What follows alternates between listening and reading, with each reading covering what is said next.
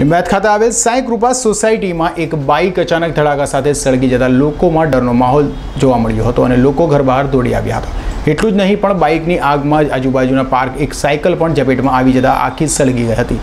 જો કે ફાયર ની ટીમ એ સમયસર દોડી જઈને પાલિકા ના ટેમ્પા ને બચાવી લેવાયો હતો આગ લાગવા પાછળ નું કારણ જાણી શકાયું ન હતી લિંબાડ ખાતે આવેલા સાય કૃપા સોસાયટી માં રહેતા મૂળ મહારાષ્ટ્ર ના ને રત્ના કલાકાર તરીકે કામ કરતા બાઇક માલિક યોગેશ મહેશ્વર યાદવ એ જણાવ્યું હતું એ કઈ જ ખબર ન પડી બસ ધડાકાનો અવાજ આવ્યો કેને દોડી નીકએ ઉતરીએ તો બાઇક સડ ગરે હતી કંઈ સમજણ પડી પહેલા તાત્કાલિક ફાયર બ્રિગેડ અમે જાણ કરી હતી ફાયરની ટીમ આવે તે પહેલા જ बाजूમાં પાર્ક એક નવી સાયકલ પણ આગળી જપેટમાં આવી જોા પામી હતી નજીની સામે બन्ने પડીને ખાખ થઈ જોા પામી હતા